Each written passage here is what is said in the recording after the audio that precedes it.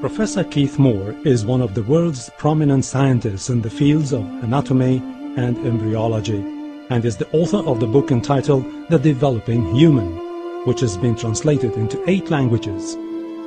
The book is considered a scientific reference work and was chosen by the Special Committee in the United States as the best book authorized by one person. In the 1940s, uh, Professor Streeter of the Carnegie Institute of Embryology in Washington, D.C., proposed a system for classifying the stages of human development. His system arranged human embryos in 23 numbered sta- stages based on their difference, differences in appearance. The Carnegie system of classification was used around the world until the 1970s when a more refined system was proposed by Dr. Ronan O'Rahilly of the Carnegie Institute of Embryology, now in San Diego, California.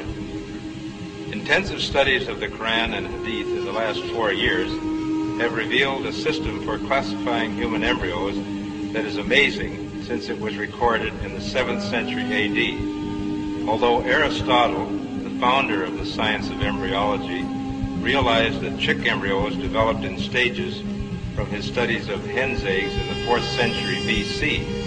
He did not give any details about these stages. As far as it is known from the history of embryology, little was known about the staging and classification of human embryos until the 20th century.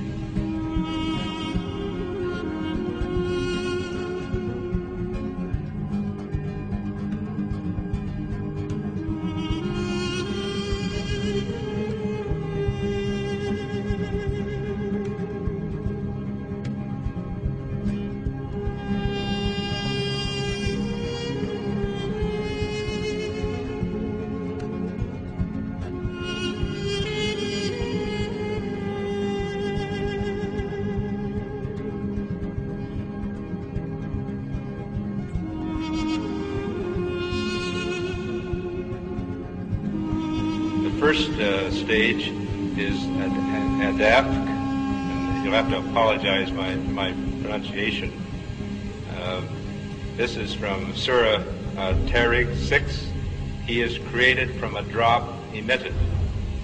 This Arabic term refers to the forceful emission of fluids which occurs during ejaculation in the male and ovulation in the female. The male secretions called semen contain the spermatozoa, and the female secretions called follicular fluid contain the ovum. This is the stage of fertilization and the uh, nutfa, and after the, this is what we call the zygote, uh, referred to in the Quran as the nutfa, and the nutfa undergoes uh, division, which we call cleavage, as it passes down the uterine tube. So these are the stages of the nut here as it undergoes uh, cell division.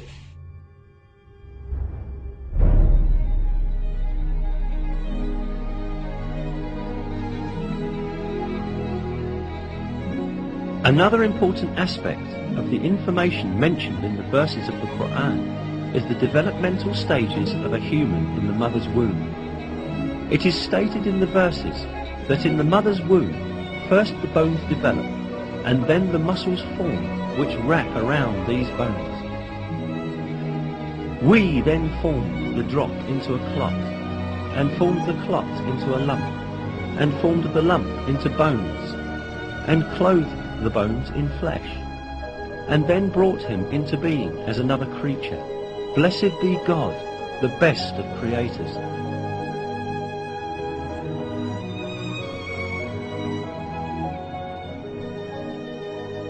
Embryology is a branch of science that studies the development of embryos in the mother's womb. Until very recently, embryologists assumed that the bones and muscles in an embryo developed at the same time. For this reason, for a long time, some people claimed that these verses were in conflict with science. Yet, Advanced microscopic research conducted by virtue of new technological developments has revealed that the revelation of the Quran is word by word correct. These examinations at the microscopic level showed that the development inside the mother's womb takes place in just the way it is described in the verses. Obviously, uh, life begins at the moment of fertilization when a single sperm fuses with an ovum to form a one-celled embryo or zygote. At this moment, the ultimate character of that indi- new individual is decided. The Quran recorded these facts 1400 years ago.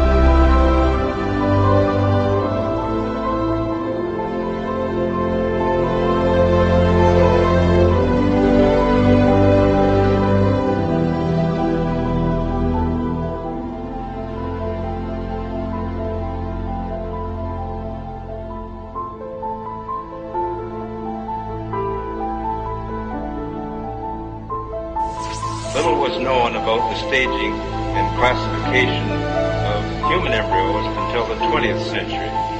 For this reason, the descriptions of the human embryo in the Quran cannot be based on scientific knowledge in the 7th, 7th century.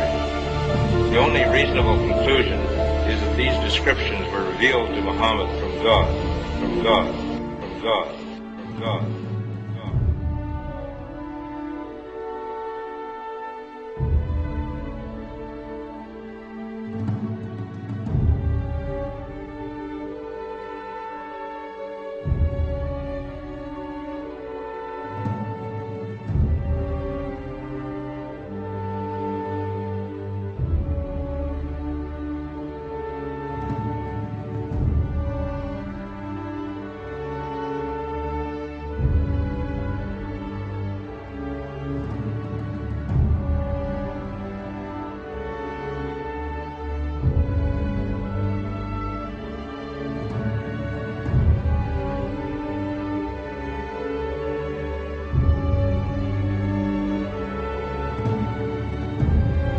Then we made the sperm drop into a clinging clot, and we made the clot into a lump of flesh, and we made from the lump bones, and we covered the bones with flesh.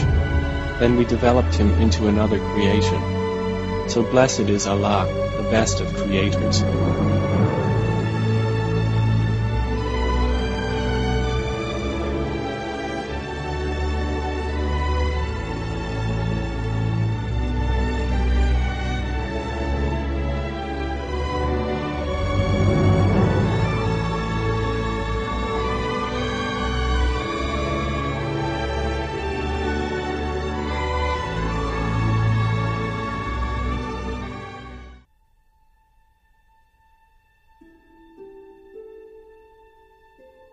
فالمركزية جاءت واخد بال حضرتك في الاتجاه العلمي بمعنى إيه؟